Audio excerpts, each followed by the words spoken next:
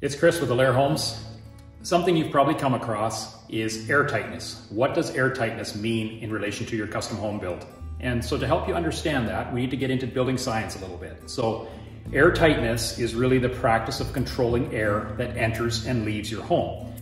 In the past, homes were quite leaky and there was a lot of air that moved through the wall system. And that really didn't matter because there wasn't a lot of insulation, so that air would dry because of the inside warm air leaving, and so the moisture wasn't a problem. As energy costs increased, regulations required more and more insulation, and what ended up happening is that the moisture that came into that highly insulated environment didn't dry, it would get trapped in the insulation.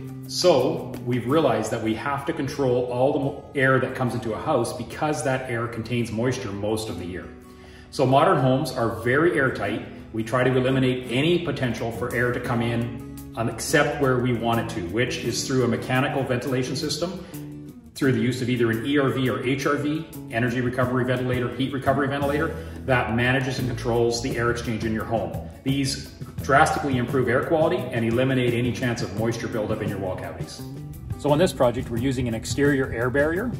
And so this house wrap is what's serving as our air barrier. So it is fully taped and joined.